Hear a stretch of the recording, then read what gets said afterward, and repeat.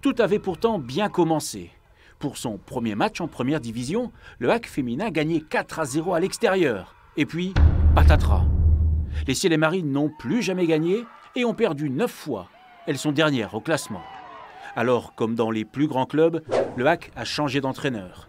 C'est maintenant Michael Bunel, éducateur du centre de formation, qui a succédé à Thierry Huvenard. L'objectif est simple, le maintien.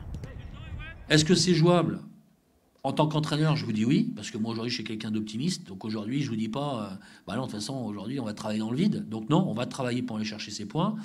Est-ce qu'aujourd'hui l'effectif peut le faire? C'est ce qu'on est en train de travailler actuellement.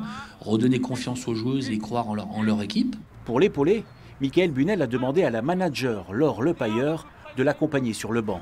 Il compte sur le vécu de l'ancienne internationale qui a joué au PSG et à Lyon.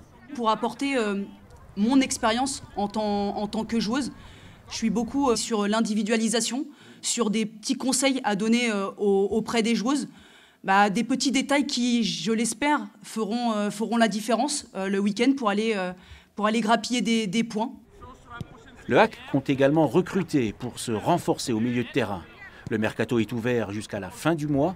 Les prospections vont bon train.